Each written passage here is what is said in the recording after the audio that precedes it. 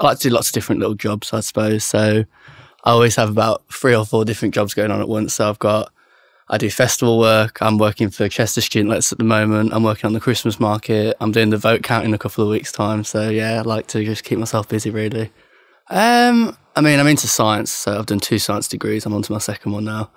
So I'm doing haematology masters. But other stuff I'm into, I'd probably say I like my music. I always like to have music on in my room obviously I love food. Everyone loves food at my age, and I like to go out and have fun. Yeah, yeah. So I did my um, first degree here. So first one was biomedical science, BSc. So graduated a few weeks ago, and then I'm doing haematology masters now for a year.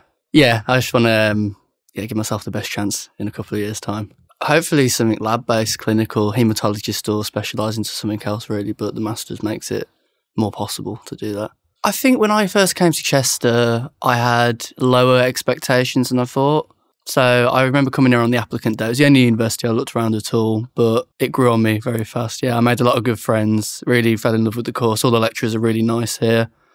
And to be honest, I call it a home now. Yeah, I uh, like to be here more than in Birmingham. um, I think it's just the fact everything's so close together. You know, you don't really need transport unless you go to the cinema. Like everything's walkable. You've got loads of history here. So you've got the walls, the country parts just up the roads, nice scenery, and um, plenty of shops, plenty of stuff to do getting involved being an ambassador and doing stuff like open days and applicant days, campus tours. I was very shy, so that's the sort of stuff that's brought me out my shell, and I'm comfortable doing that stuff now. Um, back in school and college, I mean, I've always been the same person, but as outgoing and as outspoken, probably not as much. All that sort of stuff up here, you know, helping out with the university, being involved, speaking to new people every time there's an open day. That's yeah, it does help a lot. Everyone's excited when they first come to university, and you should be because everything's so close together. A night out can encompass many different places if the bank account permits it. So, you know, you've got the SU on campus, so that's nice on a Friday night as well. You've always got SU Fridays, so always absolutely hectic in there till about 3 a.m. You've got two clubs in the heart of town.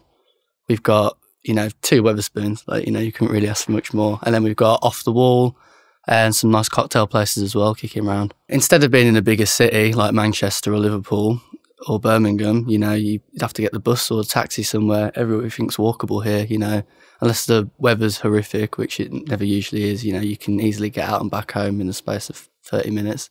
I'd say just because of where it is situated, you know, I've taken advantage of all the different avenues you can get to places. So you've got Liverpool, which is just 40 minutes on the train, you know, lovely cultural city that I'd never had the chance to visit before. Manchester's about an hour and a bit the other way. So again, if you want to go and visit Manchester and you've not been before, that's what I've done. And then because we're on the border of Wales, and uh, if you like the scenery, like there's a nice place called Conwy just down the road, an hour on the train. When I'm not too busy with work, I'd probably say I just like being outside. To be honest, so walking up the canal, uh, up to the country park again, and then just doing a lap of the walls a couple of times. Oh, the river's lovely. Yeah, you can um, you can get off the wall actually halfway around go over the river, and then there's like a little meadow walk across, which is also really nice. Yeah, so the whole thing sort of links in. It's yeah, it's a nice place to be outside. Grosvenor Park, yeah, I'd say that's the typical. If you're going to come here for the first time, everyone ends up going there. You can feed the squirrels as well, so they're very tame up here. So get a bag of peanuts and you actually go on the floor, and they will come right up to you and like eat out your hands, like something I'd not been used to.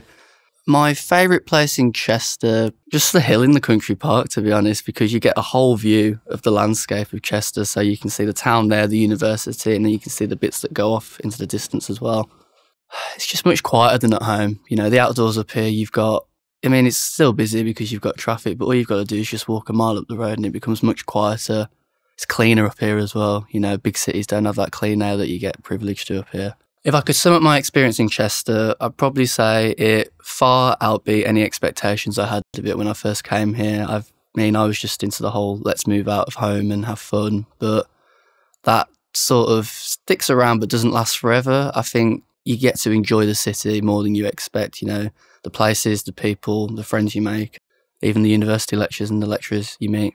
Once you've spent not even a year here, I'd say you will just fall in love with the places, the views, the history, the university and the lecturers and all the friends you make.